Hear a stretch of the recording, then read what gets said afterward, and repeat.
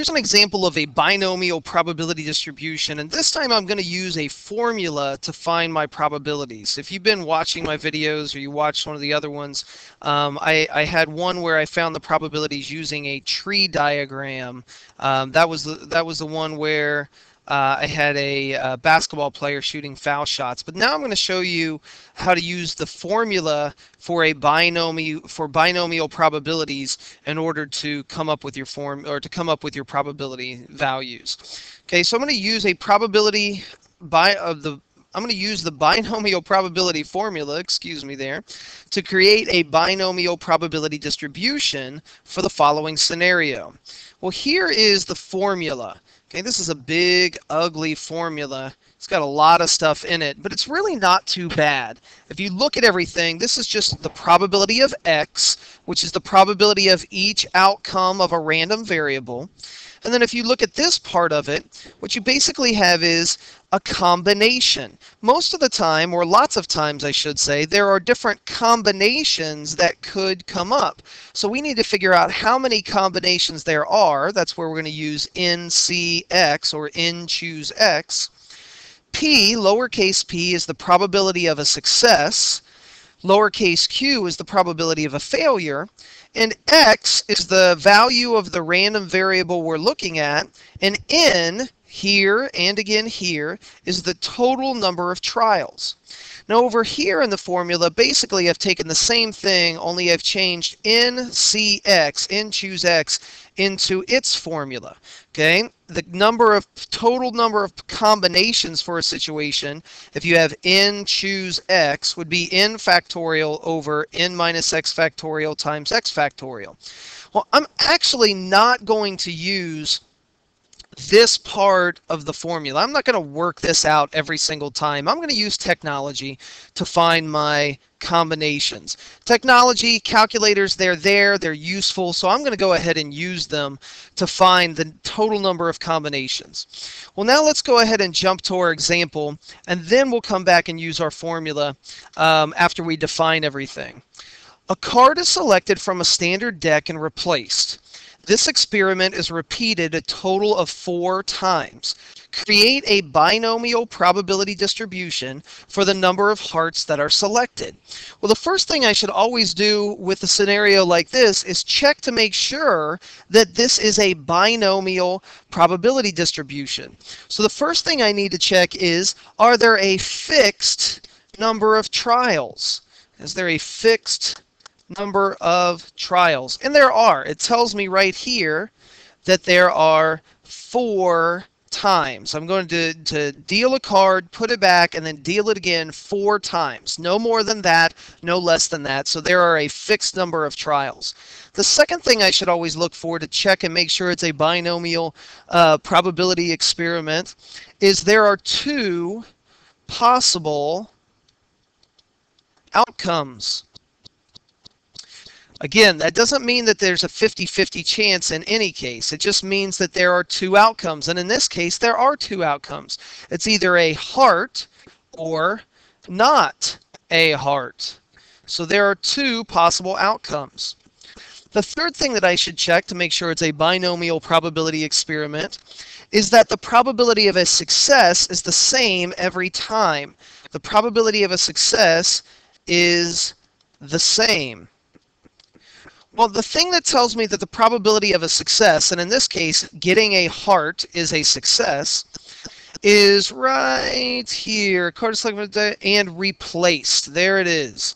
Since I am replacing the cards, that means that the probability of getting a heart is going to be the same every time I'm dealt a card. And then finally, the last and uh, condition that I need to check is that the random variable x counts the number of trials, successful trials. S is the number of successful trials. And over here, I can see that, okay, right there. Uh, X, or the number of hearts is X, and that's the number of successful trials. Right there, right there, all the way up to four. All right. now that I've checked, let me get rid of all this. Now that I've checked to make sure that this is a binomial experiment, I'm going to go ahead and all the conditions have been met. I'm going to go ahead and find, I've already set up my table, I'm going to find the probability of each of these. So let's start off, again, using my formula here. I'll tell you what, let me, let me do this. Let me take a picture of this formula right here. And I'll bring it down so it's a little bit easier to see as I go through these different probabilities. Scroll down the page just a little bit. All right, there we go. so I want to start off by trying to find the probability that I get zero hearts. I have to define everything first. Well, n is the total number of trials. So n is equal to 4. x is my random variable. So this will be equal to the number of hearts. P is equal to the probability of a success. And so I have to ask myself, all right, I am given a card. What is the probability that it is a heart? Well, in this case, the probability of getting a heart is equal to 1 fourth or 0.25. And then finally, I need to define Q, and that would be the probability of a failure, and Q is always 1 minus P. So the probability of not getting a heart is 0.75. Probability of a success is 0.25. The probability of a failure is 0.75 because the prob P and Q have to add up to 1. So here we go. What is the probability that I get zero hearts? What is the probability that my random variable x is zero? Well, let's use the formula. I know that n is 4, so this is going to be 4 choose x. Right here's what I'm going with. So 4 choose 0 times p, the probability of a success, which is 0.25, raised to the x power. Well, I know that x in this scenario, or this probability, is 0, times q, which is 0.75, raised to the n minus x. Well, n is 4, x is 0, so 4 minus x is 4. And I'm going to use technology to find this probability. So let me pull up my calculator here. Move it off to the side so we can see everything. Let me get rid of this. And here's how I would use my calculator. I need 4 choose 0. So 4, type that in. And then to get to the combinations, I hit Math, go over to the probability menu or the probability uh, tab. And number 3 is combinations. Right here is combinations. So in choose 0, looking at my formula, times 0.25 raised to the zero power, right there, times 0.75, which is Q, raised to the fourth power. So there's all my math. 4 choose 0 times 0.25 probability of a success raised to the 0 power times the probability of a failure 0.75 raised to the fourth and I hit enter and I get 0.31640625. I'm going to round off to three decimal places. So I'm going to go 0.316. Now, your teacher may ask you to do something a little bit different, round to a different number of decimal places, but I'm going to round to 0.316. Usually three decimal places is pretty good because if you want to change it into a percent, you're rounding off to the nearest tenth of a percent. So that's that's kind of what I go with lots of times. All right, let's find the next one.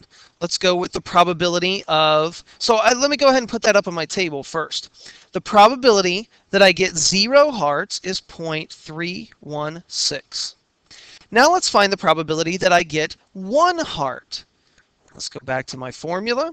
And all I'm going to do is change a few things. So the probability that I get one heart is still 4 choose 1. Instead of 0 hearts, I've got 1 heart, that's my x, times the probability of a success, which always is the same, 0.25, raised to the first power. Look at your formula. I've got x, that's 1. And then finally times q, which is still 0.75, raised to the n minus 1, or n minus x power. And in this case, it's 4 minus 1, which is 3. Now I'm really spelling this out because I don't want anybody to miss it, so I'm not rushing through this example or this particular uh, probability. Um, let me go ahead and jump back to my calculator. This is kind of nice. When you look at your calculator, all you have to really do is go, if you hit second and then enter, it brings up the, the last entry that you plugged in. Well, if I arrow to the right spots, I can just change the things in the formula that need, that need to be changed. So this would be 4 choose 1 times the probability of a success raised to the first power, so let's change the 0 to a 1, times the probability of a failure raised to the, in this case, third power.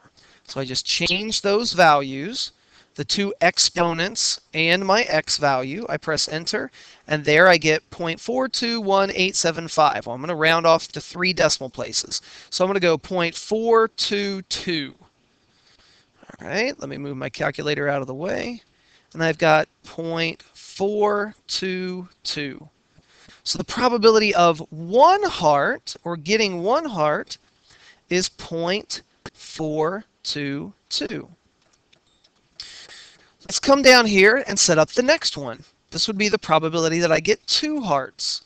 Well, that's going to be 4 choose 2 times 0.25 raised to the second power times 0.75 raised to the second power. Now I've done the math already and I'm not going to plug into my, into my calculator again because if you need help with that you can just go back in the video and figure out what the probability is that way or try this on your own. I end up getting 0.211. So let me put that into my table. The probability of getting two hearts is 0.211. And let's go to the next one. The next one is the probability of getting three hearts. So that's 4 choose 3 times 0.25 raised to the third power times 0.75 raised to the first power. And again, I've done the math already, and I get 0.047. So let me go ahead and plug that in here. The probability of getting three hearts is 0.047. And finally, the last one, the probability of getting all four hearts. So let's plug this one in. The probability that I get four hearts is 4, choose 4, times 0.25 raised to the fourth, times 0.75 raised to the 0, and the math there gives me 0.004. So the probability of getting 4 hearts is 0.004. Now, one of the nice things about probability distributions is you can check to see if you've got the right answer. So I've got, I want to take each one of these and I want to add them up and make sure that they are equal to 1. So if I go 0.316 plus 0.422 plus 0.211 plus 0.047 plus 0.004, I do get a sum that is equal to 1. The sum is equal to 1. So that tells me that I most likely have set up my probability distribution the correct way.